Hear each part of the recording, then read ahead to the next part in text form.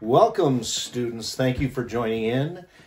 This should be for my secondary math 1H classes. That's periods 1, 2, 4, and 5. And this is for the week of April 27th through May 1st. This week, we are going to cover sections 3.4 and 4.1.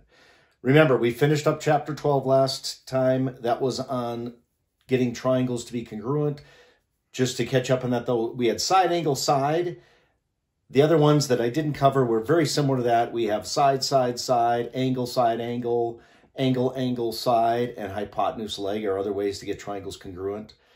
Uh, again, it's very similar to what we did, so you guys got a really good taste of chapter 12 and, and what that does. Again, I want to go back and catch some main topics. So this week, again, 3, 4, and 4, 1 deal with going back to linear functions. And again, we're going to take a look from the computer first walk you through that, and then I'll come back to the whiteboard and do a few problems for you. All right, so let's take a look at section 3.4. This is uh, from your ebook, and I'm at page 130. And we're looking at, today what I've selected on 3.4 is writing uh, e or graphing equations in standard form. So we've looked at slope-intercept form, which was the y equals mx plus b. Standard form, remember, is ax plus by is equal to c. And this comes up quite often with story problems. And with this, if you follow this down here, our core concept, remember horizontal and vertical lines. These come up all the time in math. Horizontal lines, remember the equation for those is always y is equal to whatever. In this case, if b were equal to 3, y is equal to 3 would be a horizontal line at 3. Because notice it doesn't matter what the x coordinate is, as long as your y coordinate would always be 3, it's going to be a horizontal line. x equals anything is always a vertical line.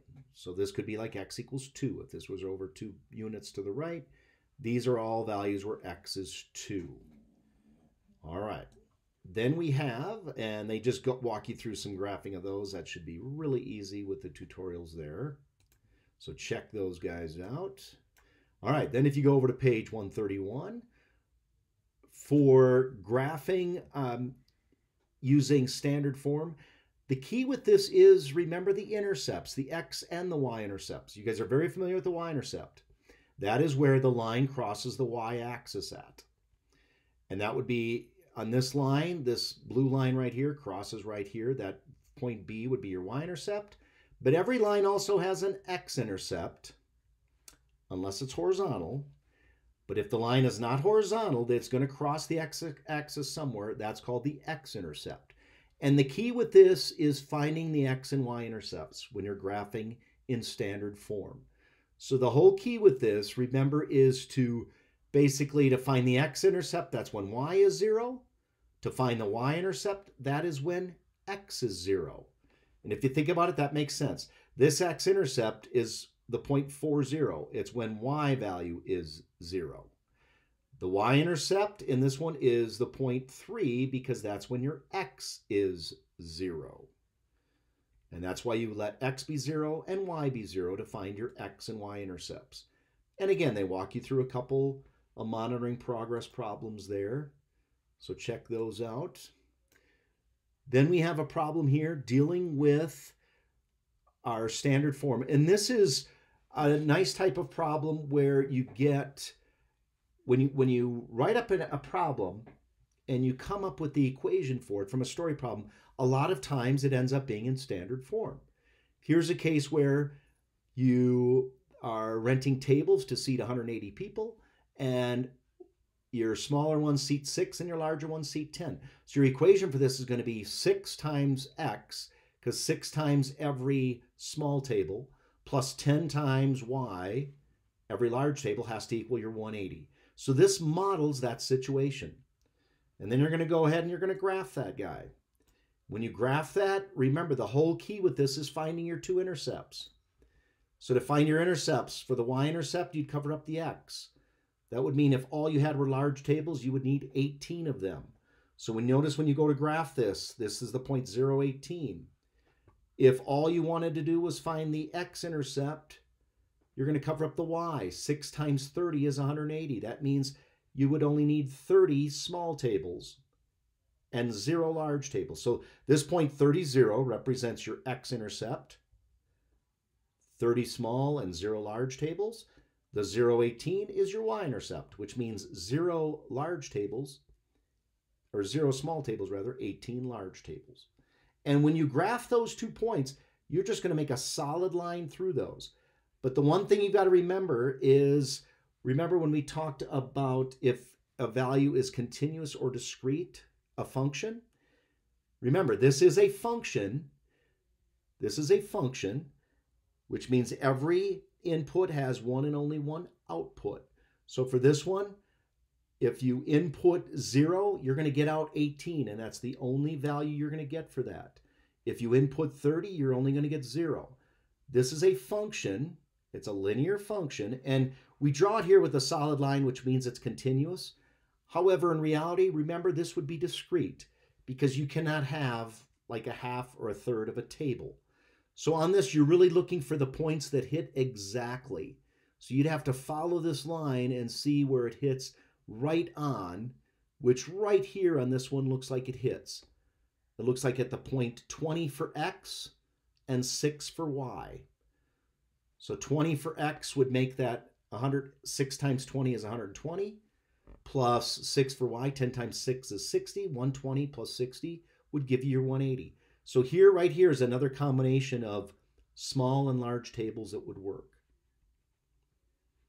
All right.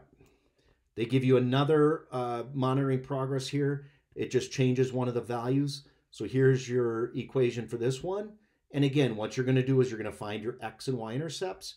You're going to graph those, get your line, you would draw it in as a solid line, but remember it's really discrete, so you're just really looking for the points that hit right on. Okay, and then here's your assignment for this. This should be really straightforward. Uh, for these, again, you remember the whole key is cover up the x for the y-intercept, cover up the y for the x-intercept. And on here, again, you've got a few different problems with this, some pretty good ones. But that is your section 3.1. All right. I'm sorry, 3.4 rather. Then I also assigned section 4.1. So 4.1, we are going to go to page 166. So 166, here we go. All right, so I also assigned this, which, again, the 4.1 is dealing with writing equations in slope-intercept form. So this is, which is really key for, for secondary one, is slope-intercept form for a line. You've got to know how to do this. And here, they're just walking you through some of these, the y equals mx plus b. Take a look at those examples. Should be no problem with those. Here, remember to find slope, change in y over change in x. So here we find the slope, negative 1 subtract 5, that's your change in y, divided by 0 subtract a negative 3, that's your change in x. Change in y, change in x. Slope, rate of change. All right, then it gives you guys some more problems here with your monitoring progress. Again, check those out shouldn't be a problem. Then if you go to page 168, it has a linear model for you. And this one is a really good problem. And this is really why standard form, or with uh, slope intercept rather, is really critical. You could take equations and you can take actual story problems and turn them into an equation. Now, to do this one, they walk you through this one, but the main idea with this one is you're basing this off of the year 2007. So the one coordinate on this would be the 0, 105 because 0, the x value represents the number of years since 2007. That is critical. The number of years since 2007. That's why your first point is 0, 105. This would represent again the year 2007 there was 105 million megawatt hours. And then the second point is 5. Well, 5 would represent the year. Well, it would be the year 2012 because it's five years since 2007.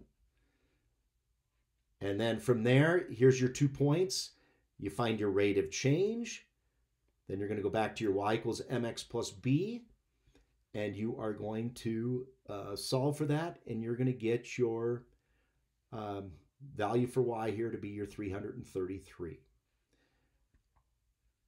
Okay, they give you some monitoring progress here. Very similar to that one. So please give that one a shot. Check out the tutorial on that one. Should be really good. Then here are problems for this one. And again, I've assigned several of these guys. And I'm going to take a look at number 29 with you guys on the whiteboard here to check that one out.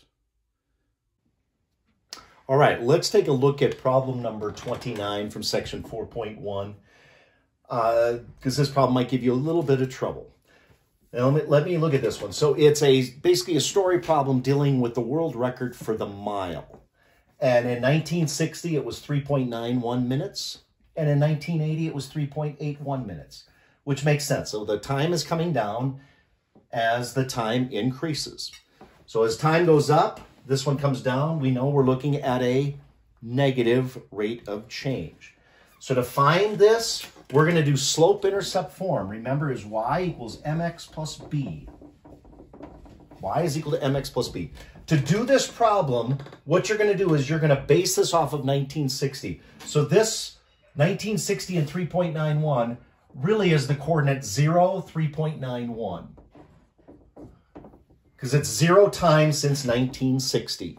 1980 is 20 years past that. So the x coordinate is going to be 20 because again, the in the x coordinate is the amount of time past 1960. So we're going to let this be t time since 1960.